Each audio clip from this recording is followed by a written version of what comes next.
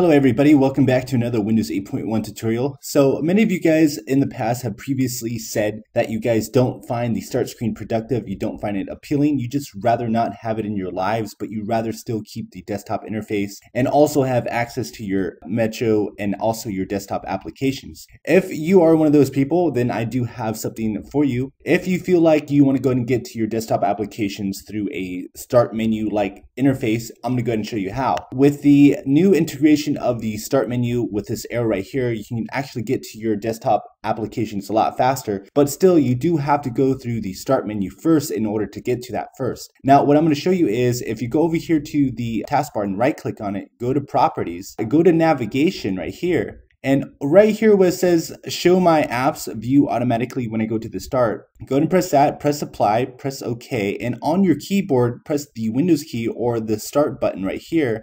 And right here, it'll go ahead and take you directly to the start screen menu where all your apps have been installed, whether they're the desktop applications or also the Windows Store apps. If you guys like this tip, go ahead and thumbs up. If you guys rather have this right here, go to that setting, apply it, and you won't have to be bugged without that whole start screen interface in the foreground. I do believe this also works when you first log onto your computer. It'll go straight to here. Also, if you guys want to see another tip on how to go and go to the desktop instead of the start screen, stay tuned for the next video. Also, one tip, if you do happen to want to get back to the start screen, just use the arrow right here. But overall, once you press the start button, it'll always take you back to the start screen menu. All right, until next time, you guys. See you later. Bye.